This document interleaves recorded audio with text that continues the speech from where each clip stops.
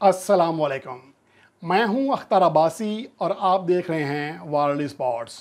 Pakistan cricket team के opening batsman Abdullah Shafique ने गुजशत मैच में 160 रन की नाकबले शिकस्त इनिंग्स खेल कर जहाँ ना सिर्फ़ पाकिस्तान को एक बड़ी कामयाबी से हमकिनार कराया, बल्कि एक तारीखी फतह दिलाई, जिसकी वजह से Pakistan team ICC test championship के पॉइंट्स टेबल पर तीसरी पोजीशन पाने में कामयाब रही, लेकिन इसके साथ साथ अब्दुल्ला शफीक ने मजमू तौर पर पंद्रह बड़े एजाज़ात हासिल किए हैं, जो कि आईसीसी की जानब से अब जारी कर दिए गए हैं। बाकायदा तौर पर रिकॉर्ड बुक का हिस्सा बन गए हैं।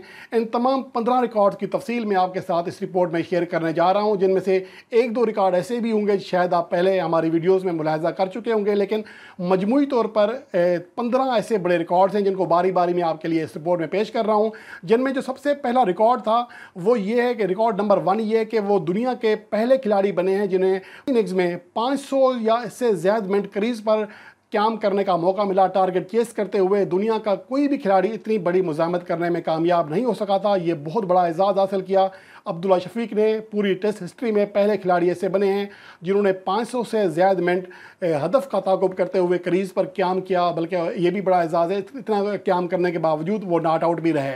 और उसके अलावा ये पाकिस्तान की रिकॉर्ड नंबर दो है। इसके अलावा ये पाकिस्तान की तारीख में चौथी इनिंग्स में पाकिस्तान की जानब से सबसे बड़ी इनिंग्स खेलने वाले ओपनिंग बैट्समैन बन गए। इससे पहले पाकिस्तान का कोई भी ओपनिंग बैट्समैन डेढ़ सौ प्लस रन की हद पार नहीं कर सका था, जबकि शोएब मलिक ने 148 रन बनाए थे 2006 में। श्रीलंका के टूर में बतौर ओपनर खेले थे।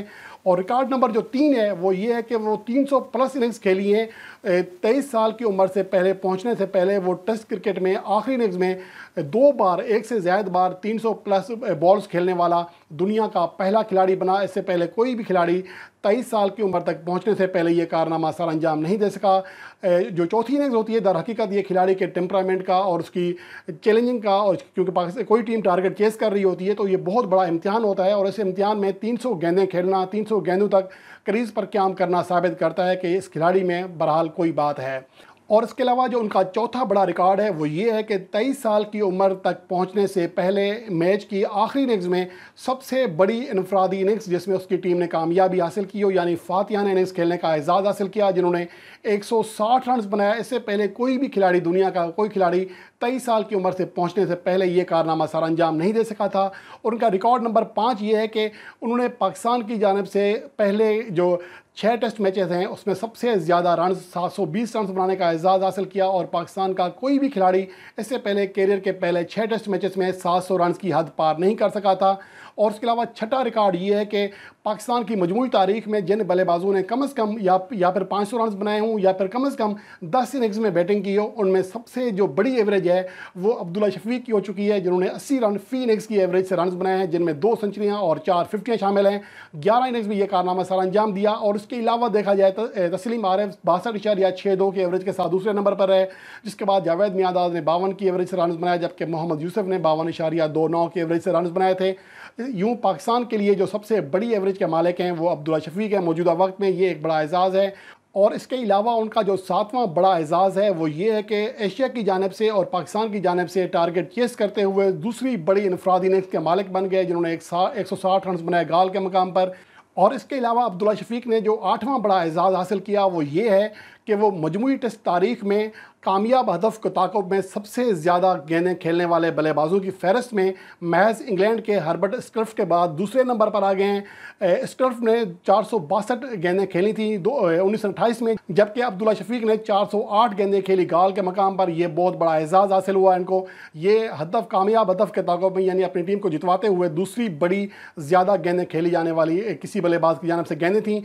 और इसके अलावा जो उनका नवा बड़ा रिकॉर्ड है, वो एशियन कंडीशन में, यानी किसी भी एशियाई मुल्क में हदफ का ताकुब करते हुए चौथी इनिंग्स में सबसे ज़्यादा दूसरी गेंदें खेलने वाले खिलाड़ी बन गए हैं, जिनके आगे सिर्फ़ बाबर आज़म है, जिन्होंने कैंगरोज के खिलाफ गुजशत सीरीज़ में कराची के मकाम पर जब एक सौ छियानवे रन की यादगार मजामती इनिंग्स खेली थी, उसमें चार सौ पच्चीस गेंदें खेली थी, और अब चार सौ आठ गेंदों के साथ अब्दुल्ला शफीक दूसरे नंबर पर आ गए हैं। इंडिया के विंगसारकर तीन सौ सत्तर गेंदों के साथ इस फहरस्त में तीसरे नंबर पर हैं, जिन्होंने उनासी में यह कारनामा सर अंजाम दिया जबकि शोएब मलिक ने तीन सौ उनहत्तर गेंदें खेली थी दो हज़ार छः में। तो यूँ अब्दुल्ला शफीक और बाबर आज़म दो ही ऐसे बल्लेबाज हैं जिन्होंने एशियन कंडीशन में मैच की चौथी इनिंग्स में 400 से ज़्यादा गेंदें खेलने का एजाज़ हासिल किया। और यहाँ ये बात भी काबिल ज़िक्र है कि दुनिया के जितने भी ओपनर्स हैं, जिन्होंने कम अज़ कम दस इनिंग्स खेली है ये उनका दसवां रिकॉर्ड है।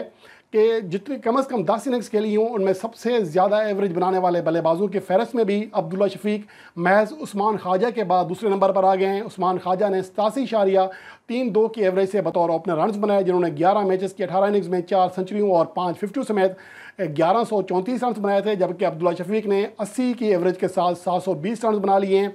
और ये दो ही ऐसे दुनिया के ओपनिंग बल्लेबाज हैं जिन्होंने 10 से ज़्यादा इनिंग्स खेलने के बावजूद अपनी एवरेज जो है 80 रन फ़ी इनिंग्स से ऊपर ये ऐसे मेंटेन रखी हुई है। इस फहरस्त में जो कोई और ऐसा बल्लेबाज नहीं है जो कि 75 की हद पार कर सका हो तो ये भी एक बहुत बड़ा एजाज़ है अब्दुल्ला शफीक के लिए। और उनका जो ग्यारहवा बड़ा रिकॉर्ड है, वो ये है कि वो तेईस साल की उम्र से पहुँचने से पहले तीसरी बड़ी इनफरादी इनिंग्स खेलने में कामयाब रहे। किसी मैच की चौथी इनिंग्स में ये भी उनका एक बड़ा एजाज़ हुआ। और उनके अलावा उनका जो बड़ा एक और रिकॉर्ड है, वो कैरियर के पहले जो 11 टेस्ट इनिंग्स हैं, उनमें सबसे ज़्यादा रन बनाने वाले मजमू तौर पर तीसरे ओपनर बने हैं। इससे पहले सिर्फ़ दो ही ओपनर थे जो उनसे ज़्यादा रन बनाने में कामयाब रहे। और इसके अलावा उनका जो तेरहवा रिकॉर्ड है कि वो एशिया में सक्सेसफुल चेस यानी कि टारगेट का ता, कामयाब ताकुब करते हुए तीसरी बड़ी इनफरादी इनिंग्स खेलने वाले खिलाड़ी बन गए। अब्दुल शफीक को ये भी एक बड़ा एजाज़ हासिल हुआ। इसके अलावा जो उनका चौदवा रिकॉर्ड है वो ये है कि वो पहले छः टेस्ट मैचों में सबसे ज़्यादा रन बनाने वाले चौथे खिलाड़ी बन गए हैं दुनिया के और ये गुजशत इक्यावन सालों में ऐसा कारनामा कोई और सर अंजाम नहीं दे सका था। ये गुजशत इक्यावन सालों में दुनिया के पहले खिलाड़ी बने हैं जिन्होंने कैरियर के पहले छः टेस्ट मैचों में सात सौ सौ रन की हद पार की है, ये भी एक बहुत बड़ा एजाज़ है उनके लिए।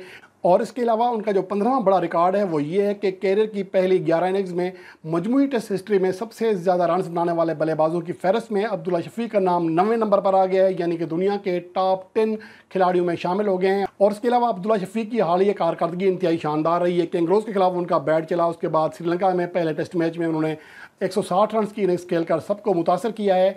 और अब आने वाली जो रैंकिंग अपडेट्स है, देखते हैं कि उसमें अब्दुल्ला शफीक की कितनी बड़ी तरक्की होती है। अब्दुल्ला शफीक के लिए पाकिस्तान क्रिकेट बोर्ड के चेयरमैन रमीज़ राजा ने भी कहा है कि अब पाकिस्तान को एक और मैच विनर खिलाड़ी मिल गया है। और दुनिया तारीफ़ कर रही है इवन के पाकिस्तान के कई सबक खिलाड़ी हैं जिन्होंने सोशल मीडिया पर अब्दुल्ला शफी की तारीफ़ की। और यहाँ ये बात भी काबिल ज़िक्र है कि बाबर आज़म से कई बार इस बारे में सवाल पूछा गया था कि अब्दुल्ला शफी को बिलाखिर क्यों खिलाया जा रहा है। इवन कि मैंने भी तनकीद की थी, मैंने भी क्वेश्चन किया था उनसे, लेकिन बाबर आज़म ने बार बार यही कहा कि अब्दुल्ला शफीक एक बेहतरीन तकनीक का मालिक, बैट्समैन है। हम नेट पर देख रहे हैं उनको, लेकिन उन्हें अभी फ़िलहाल हम ग्रूम कर रहे हैं।